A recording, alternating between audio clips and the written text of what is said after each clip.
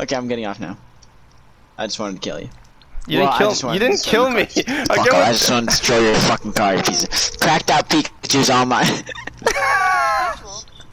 Alright, good night before he